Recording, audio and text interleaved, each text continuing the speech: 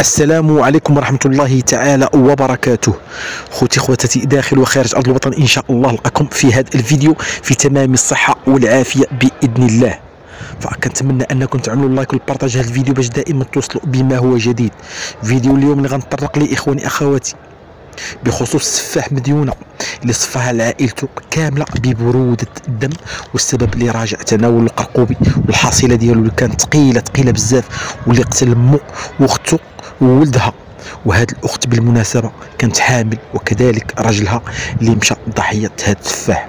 فاصفها لهم كاملين وكتفهم بالفولار.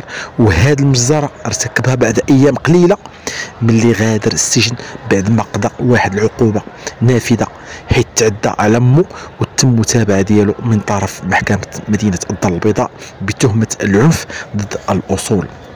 فالقصة وما فيها. أن هذا السفاح مديونة والاسم الحقيقي ديالو شفيق. مشى ديك الصباح بكري مع الربعة الصباح عند دار اختو الكائنة بإقامة الشرف بشارع حسن اليوسي. فين غيرتكب أبشع جريمة في حق عائلته وزاد حتى نسيبه فشكون هو السفاح مديونة. فالسيد عانى في ظروف صعيبة وسط أسرة بسيطة ولكن الحمد لله العائله كانت مستورة. عايشة بلي قسم الله سبحانه وتعالى. غير هو زاد طين بلة ما بقاش يعني وما بغاش يكمل القراية ديالو. كان معكاز كسول وخرج من التعليم الابتدائي. يعني وسرح في الزنقة. فين تعلم البلية والحشيش؟ وأصدقاء السوء صراحة. كان العمر ديالو تسع سنين يعني مازال صغير. وكان عايش عائلته معيشه في واحد الحالة من المرار.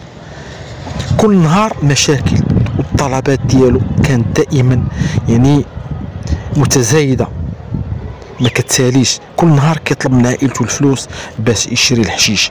فهاد الشاب من كبر واللي ولا منحرف كان فايت ليه ضرب مو ودخلوه الجناح ديال 36 بمدينة برشيد باش يتلقى العلاج ضد هذا الإدمان. يعني راكم عارفين إخواني أخواتي الواحد ملي كيكون بلي راه كيفقد يعني ديك النسبة ديال الذاكرة ديالو وما يبقاش عاقل شنو كيعمل. فللأسف ما تعالجش بالعكس بالعكس زاد يعني في العنف اللفظي ديالو والجسدي في حق عائلته كاملة والسلوك العدواني. فبالرجوع إلى لحظة ارتكابه لهذه الجريمة فهاد شفيق مشى داك الصباح لدار اختو ودق في بابها واختو هي اللي فتحات له. وهي مولا الدار فتفاجأت بالأخ ديالها ومنعاتو باش ما يدخلش للدار وبدات كتغوت كما العادة. قالت له ما تدخلش لداري حيت عارفاه شنو كيدير من المشاكل والمصائب وعاد التعدي اللي قام به ضد الأم ديالها. يعني راه تكرفس عليها وهرسها من اليد ديالها. فهي اللي عارفة شنو كيعمل وما قبلاتش تدخلوا من جديد للمنزل. ف لأن هاد السيد لا يعقل أنه كيضرب الأم ديالو وتكرفس عليها واللي هي ردعاته وكبراته ويعمل فيها هادشي كامل. فهو ماشي راجل. وهذا من حقها ما تدخلوش في الأخت غوتات في وجه خوها شفيق وغوتات وهذه هي آخر غوتة اللي قامت بها واللي سمعوها الجيران لكن قبل ما يتقطع عليها الحس في الناس أو الجيران. فهاد الأخت إخواني أخواتي اللي سميتها خديجة. والسفاح اللي عنده 26 سنة. هاد الأخير مرضاش وما تقبلش الإهانة من الاخت ديالو اللي طرداتو من المنزل ديالها. دفعها وسد الباب بزربة بدا كيضربها بواحد العصا ديال الكراطة ماشي مرة ماشي جوج. موقف من الضرب حتى شافها جثة هامدة قدامه واللي كانت أولى الضحايا ديالها في هذه المجزره البشعه فود الضحية بطبيعة الحال حاول أنه يدافع على الأم ديالو ويمنع خالو من ضرب الوالده ديالو. لكن الولد جا الدور ديالو وبقى عليه بالضرب. حتى فارق الحياة كذلك يعني حتى هو ما كانش عالم أنه غيمشي ضحية ديال هاد العنف ديال هاد إلا الخال ديالو ما كانش كيظن أنه حتى هو غيصفها ليه بطريقة بشعة. فهادشي كله وقع أمام أعين الأم ديالو مسكينة اللي بقات مشلولة ومصدومة من هذا المشهد. ما عندها ما دير ما قدرش تدافع على بنتها ولا على الحفيد ديالها وهي عارفة شنو كيتسناها من هاد مسخوط الوالدين.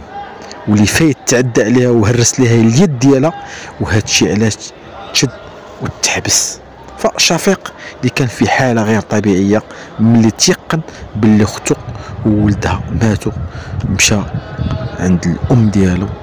وجا الدور ديالها. جاب واحد الساطور أو مقدة وضربها ضربات متتالية في الرأس ديالها حتى تهشم راسها وفرقات الحياة وزات القائمة ديال هاد الضحايا. هو اللي كان مخطط لهاد الفعلة. فجمعهم كاملين وكتفهم بالفولارات وجلس كيتسنى نسيبو يرجع من الخدمة. من الصباح إخواني أخواتي حتى السبعة العشية ونسيبو اللي ما كانش عالم وما كانش عارف شنو واقع في المنزل. ف ملي دخل نسيب فباغتو شفيق بضربات متتاليه بالمهراز بواحد اليد المهراز للراس والسيد مات في الحين. وقتلو وزاد الجثة على الجثث الآخرين. فلا حول ولا قوة إلا بالله العلي العظيم. السيد سد الباب ديال البارتما ومشى غبر. شيختو يعني أخرى الأخت ديالو أخرى عيات ما تعيط على الأخت ديالها. وهنا فين غيدخل الشك؟ وهنا فين علمات الشرطة اللي جاو؟ وخبروا الوكيل العام للملك اللي فتحوا الشقه ولقاو الجثث.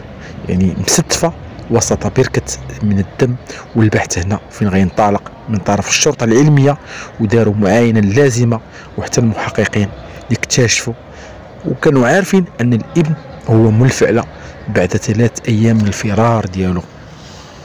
إخواني أخواتي هاد الجريمة اللي قام بها هاد الشاب ضد الأصول ديالو يعني راه ما خلى لينا ما نقولوا في هاد الجرائم اللي وقعوا سالفا ذكر اللي كانوا كيقتلوا إلا واحد من العائلة ولا جوج هذا فكان مخطط يعني أنه يصفي العائلة ديالو كاملة حتى أنه ما رحمش الأم ديالو اللي كانت كبراته ورضعاته يعني وحملات به تسع شهور فها هو المصير اللي أو الجزاء ديالها من طرف الإبن ديالو الإبن ديالها اللي هو إلا كان مبلي.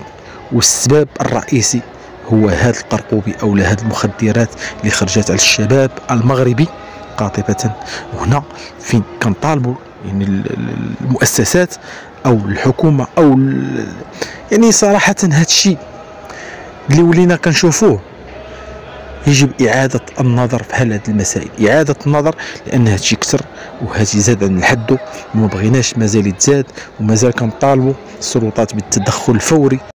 إخواني أخواتي هذا ما لدينا من أخبار فكنتمنى أنكم تكونوا بخير وعلى خير وما تنسوش أنكم تعملوا ال like وال partage هذا الفيديو باش دائما توصلوا بما هو جديد دمتم في رعاية الله والسلام عليكم ورحمة الله تعالى وبركاته.